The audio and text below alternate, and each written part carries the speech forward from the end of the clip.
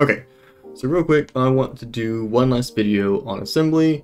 This is going to be going over pointers. It's kind of a follow-up to our previous video where we went over some more advanced procedures.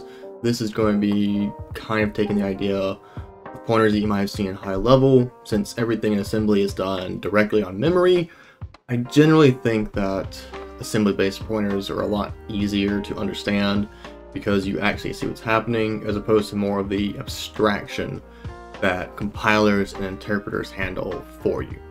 So let's go take a look at that right quick. Okay, so just assembly pointers. Since everything in memory is essentially a stack of addresses, we can very easily utilize the notion of pointers to dynamically adjust memory. We store memory locations in our address register to achieve this functionality. So, main thing, address register, the A register. This is going to be the most key element to dealing with pointers. Particularly here we have an example, set the register address to negative 1, input is R0 which holds address. Sets RAM R0 to negative 1. So we have three instructions here. We have at R0, let's just go ahead and take a look at A, D, and M. And we are going to go to 0. We don't know what data register is, but we have the M register, so whatever our current memory is set to. Well, if we look over here in RAM, address 0 has 1013 in it. So 1013. Okay? Now we have A equals M. So this is just going to give us 1013 which currently we don't know what that is, but we're going to set it to negative 1. Now, all of a sudden in RAM, address register 1013 is negative 1. So again, this key instruction here, in the hack machine language, pointer-based processing is realized by setting the address register to the address that we want to access the instruction a equals, and in this case we're doing m, because it's whatever we want from our current address. So if I wanted to adjust 1016, I would change this 1013 to 1016. All of a sudden now I write negative 1 to this. And that's all I have to do.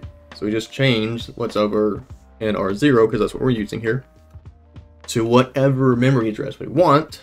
And dynamically we can adjust the pointer to point to something new in our stack of addresses. All right. Another one sets RAM R0 to R1. So now we have two different memory addresses being used. So we're going to do at R1, I'm just going to do ADM again real quick. So at R1 gives us one, data register we don't know, memory register will be set to 1, which is the RAM 0 to R1, looks like negative 17, this is already set. So negative 17 in our memory register. We're going to do d equals m, store this value because we want to move it to somewhere else. We're going to do at r0, which is 1015. We're going to do a equals m, this is the pointer notation. All of a sudden now a equals 1015. We don't know what this is. We're going to do m equals d, setting the negative 17 into memory all of a sudden the desired result here is negative 17 and 1015. So again, we take a value, store in the data register, use our pointer, relocate here, and store that data in memory. It's not too bad. One more example, set R1 equal to whatever RAM R0 is. So currently we want to get whatever this value is, go to that location in memory, grab that data, and store it in R1. The first thing, ADM, as usual, at R0. 0, no idea, and currently 1013. Okay, A equals M, we're going straight to the pointer, which gives us this. So again, we have 1013. That is a 75. D equals M, we're going to store that value. At R1, And we don't know what this is technically. And m equals d, storing this into there, giving us 75 and register 1. Now real quick, you might notice there's a bunch of data here. We have 1012 through 1016. If I wanted to write 256 to R1 instead, I would just change this 1013 to 1016, and then I'd go here, grab this data, and then move that here, now being 256. So this gives us more of a dynamic approach. Just by changing this one value here, we can alter what we eventually store. So this is going to be kind of setup problem here. So set the first n entries of the memory block beginning an address base to negative 1. The R0 is the actual base, R1 n, the actual number of entries. And we just want to write negative 1 to those entries. You can see our base is 300, so we're going to start at address 300. And then we have 5 entries, so 1, 2, 3, 4, and 5 up to 304. So key operation here is RAM R0 plus I equals negative 1. So this is going to be kind of a setup block to the next slide. So, just like our previous slides, this previous video, we're going to be looking at a procedure. This one is going to be a loop that actually writes negative 1 to all of these based on our parameters in R0 and R1. Again, 300 being our pointer here, so it's going to start there. This is kind of like the idea of an array. We have a pointer from the very start, and you start writing it as individual indexes beyond. So, first line, me i equals 0, so we have at i, m equals 0.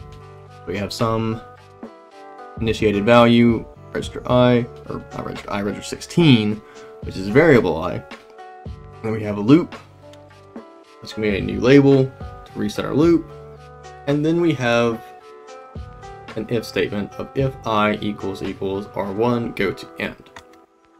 So this is doing comparison if we have related to the number of entries. So we start i equals 0 and we're going to, you notice here, count this up. So 0, then 1, then 2, 3, 4, so on and so forth. We're counting those up storing that, subtracting it, which would give us R1, so we're doing d minus m, which can be 5 minus 0, then 5 minus 1, 2, this is i here. So this is R1 for the 5, this is i for the 0, 1, 2. So eventually we're going to zero out because we're doing JEQ, and that's when we'll jump to end. Then we do the key actual instruction set. So we have RAM R0 plus I equals negative 1. This is very similar to what we just did. The only difference is we're adding a incremental value to it. So normally it would just be storing negative 1 and 300 because we have at R0 equals M. Real quick. And I'll have I here as well. So a is going to equal 0. We know it's 300. We have D equals M. That should be 300. At I, which currently equals 0. A equals D plus M. So this is going to be A equals this, which is 300 plus 0 is going to be 300. And do M equals negative 1. So write negative 1 to address 300. Well, all of a sudden, we're going to continue to loop this. Except for one thing to be different is this is going to change to 1 based on the next slide of i equals i plus 1. But eventually, we're going to be running at 301, then 302, then 303, so on and so forth. So that's going to be this part right here. So you can tell that i is being incremented. If we do that again,